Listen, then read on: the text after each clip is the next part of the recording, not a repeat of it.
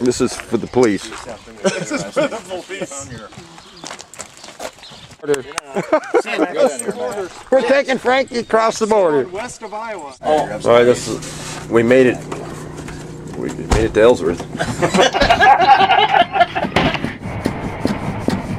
Heading west on 80 in a big RV, loaded down with a bowling balls. Taking a break about every 40 miles, doing what nature calls. We got a catfish and a New York Frankie, got the farmers Roy and Paul. A mechanic that we call Ronnie, Justin who knows the law. Now catfish jumped right on Frankie's ass about a shutting the goddamn window.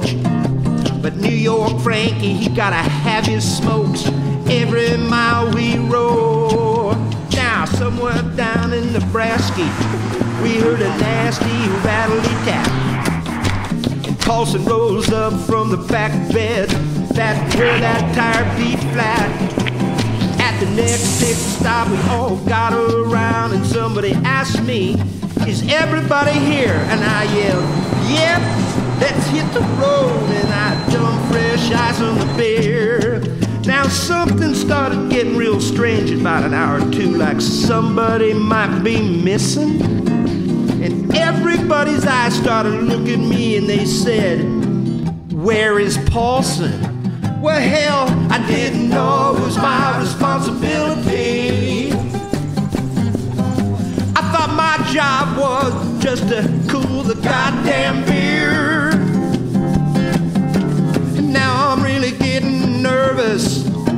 I might not get to Reno. They might leave me at a flying J's, is what I fear.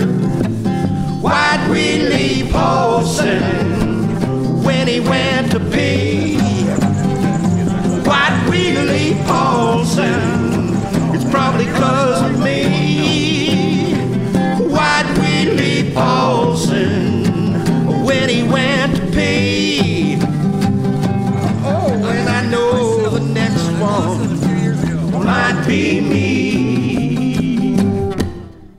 I heard a few comments being thrown around, like seems like we got a lot more room. And now there's seven guys in a small RV, and I'm uh, nervous about the mood. I heard Paul say we should have traveled with six. I knew I was indeed. More more sips of coffee or beer, and I stayed inside that RV. Hell, I didn't know it was my responsibility.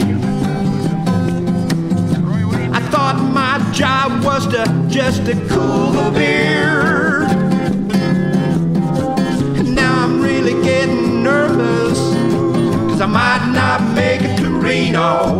They might leave me at the Flying J, is what I fear.